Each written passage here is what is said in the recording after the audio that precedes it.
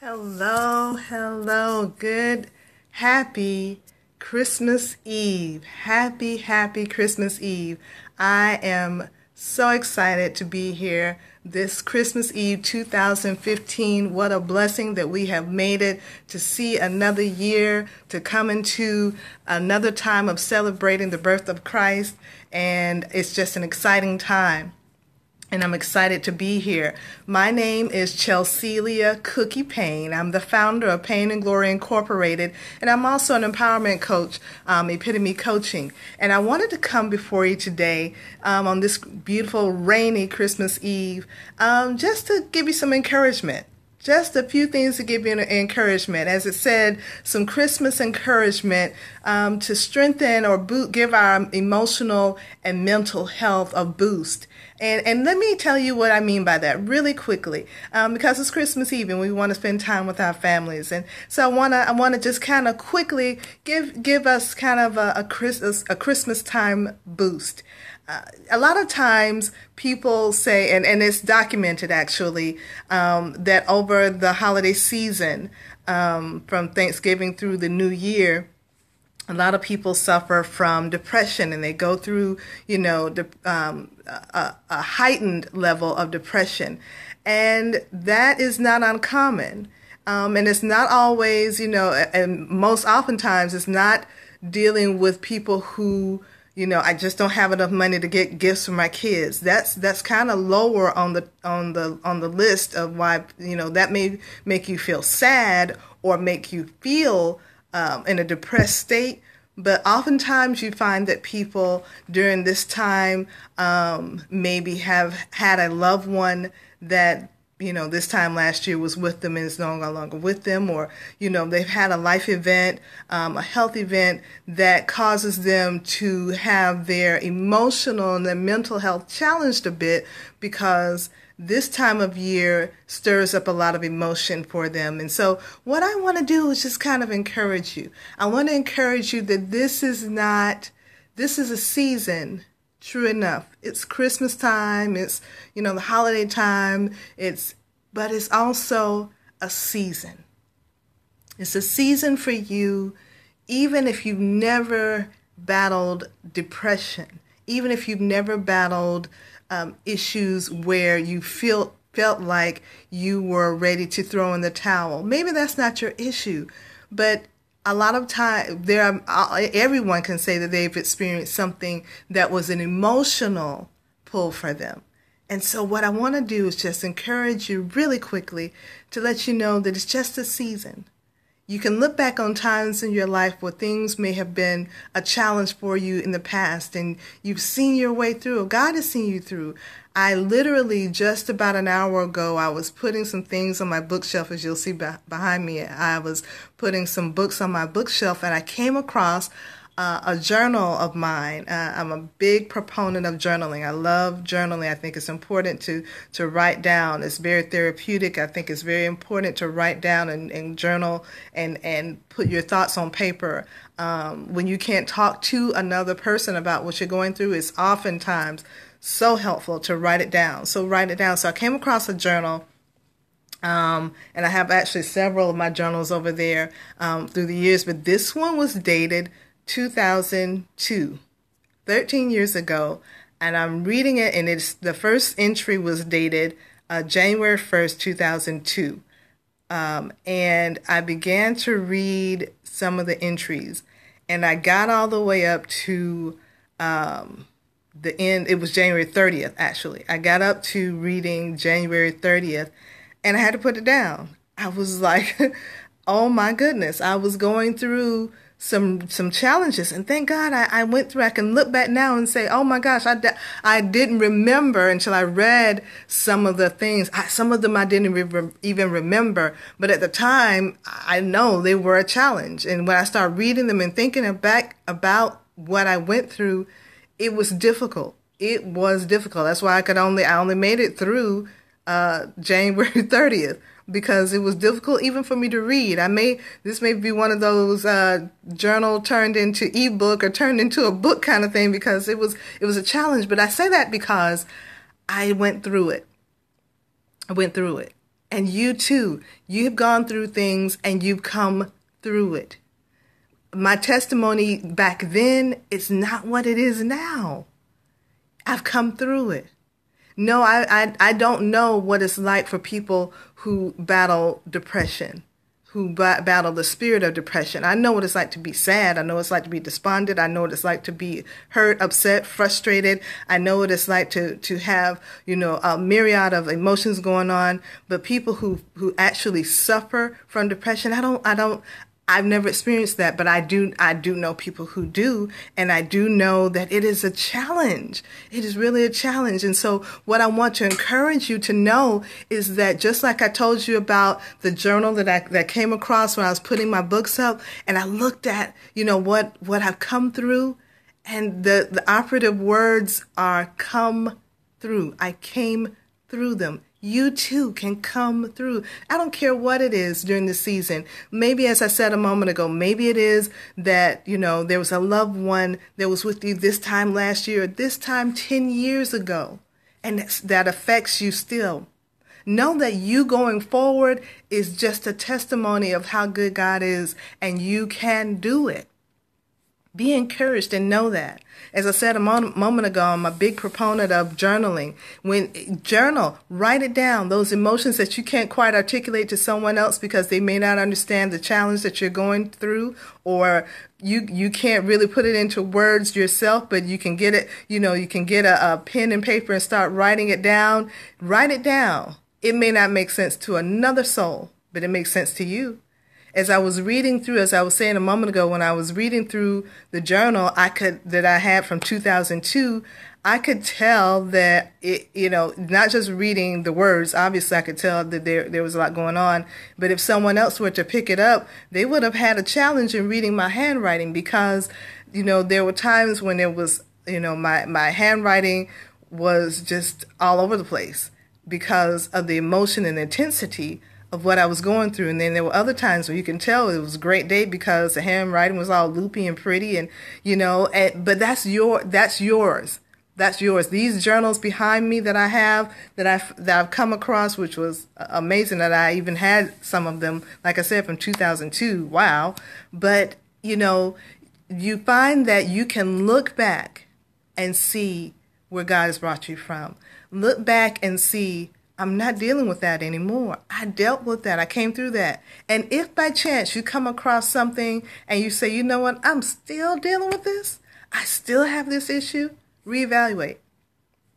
Look at your other entries. What got you out of those other things? I, in my journal, the one I found that I was speaking about from 2002, I found that there were, I had a lot of scriptures in there that were, I was like, wow, I, wow, I had a lot of scriptures in there that were appropriate for the very thing that I was going through. And that seemed at that time in 2002 to have brought me out of what I was going through. If it worked then, if me pulling out scriptures and words of encouragements and, and books that, you know, that were a help to me, if it worked then, why couldn't it work again? If whatever worked for you before that was not detrimental, that was not to a, a uh, working against you, if whatever worked for you before worked then, surely it can work again. If you're getting up 15 minutes early in the morning, earlier than normal, to pray, to meditate, to read, if that is what got you through the last time, guess what? It'll get you through this time. If you taking a walk around your neighborhood to clear your head just to have a few moments to yourself, some me time, very important. Me time is important. I M P O R T A N T. Me time is important. Underscore, big red letters, flashing lights. Important. Me time. Spending time by your yes, spending time by yourself. For me, I have a long drive. I drive from my home. I drive about uh, uh, one way is about uh, 26 30 miles every day. That's fun. Yeah.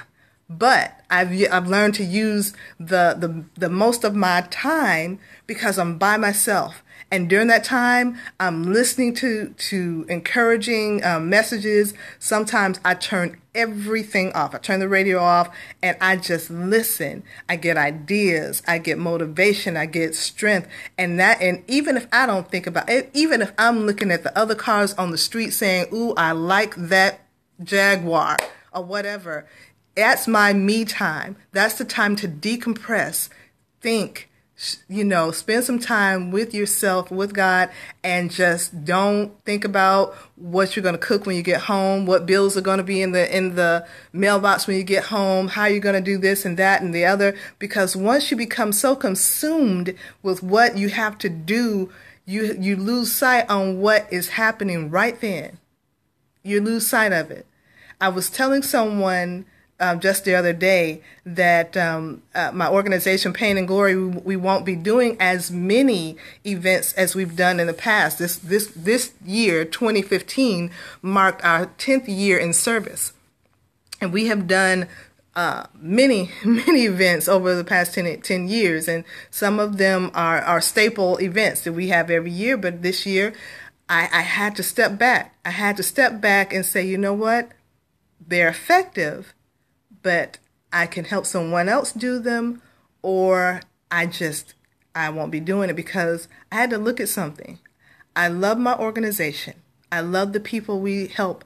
I love the people we support. I love the, the email messages and the phone calls and some the text messages. Oh my gosh, and the responses I get from people after the event has taken place each and every time. I love that. I, I, I know what my purpose is. However, that that means nothing when I look up and my 12 year old son is almost as tall as I am, when there, there are things that I may be missing out on because he's only going to be a child for a short period of time. He'll be an adult forever. And so I can't be a champion for this cause and miss out on the biggest cause, which is my family. So you gotta, you gotta, you gotta, thank you. You gotta take time. You gotta, I, you know, I looked at the fact that, you know, my son is, you know, he, there's things he wants to do, he's interested in, and I want to be interested in what he's interested in. Because if I'm not interested in what he's interested in, guess what? Someone else will find his attention. If his father isn't interested in what he's interested in, someone else will get his attention and take his focus off what's important. So now at 12 years old, I've got to make I've got to make concessions. It's not about, you know, oh, I've got to do this for Payne and Glory. It, Payne and Glory will be Payne and Glory. It it will continue to grow, it will continue to do, and so will my son. And so will my family. So I've got to make that that choice. And so with you. That's why I wanted to do this periscope right quick. To encourage you, to let you know it's okay to not be okay. You can't. You don't have to be Superman, Superwoman. You. It's okay if every T isn't crossed and every I isn't dotted. It's okay. You don't have to to be everything to everybody, but you do have to be somebody for yourself. You are no good to anybody else until you take care of yourself. That is emotionally, that is spiritually, that is mentally. You have got to take care of yourself. I notice I didn't say financially because if you can take care, if you make sure that you are intact mentally, spiritually, and emotionally, the financially will fall into place because you've got your mind right, you've got your spirit right, and you've got your health together. What good is it to have money and you can't enjoy it because you're laying in someone's hospital bed? Or you're sitting and in, in, in, rocking back and forth with your arms crossed because you're, you're overwhelmed. Money in the bank can't help that, but peace can. Peace can help that. Having peace is awesome. Having peace is awesome. Having peace is awesome. So I encourage you on this beautiful but rainy Christmas Eve. Take some time for you. Make sure that your mental, spiritual, and physical health are intact. And I don't have to tell you how to do that, really. I don't have to tell you how to make that happen. There's too much information out there to allow us to know how to get our physical self together, how to eat better, how to exercise. We're inundated with that daily. How to get our emotional health together. You know who and what is not supposed to be a part of your life. You you know it. You know what is not supposed to be there. And as and and as well as our mental health. Take some time, take a breath. And it is there is nothing wrong with going to get counseling, to going to get help. If I were a diabetic or if I had a physical malady that was going on with me, surely I would go to a medical doctor to get myself taken care of.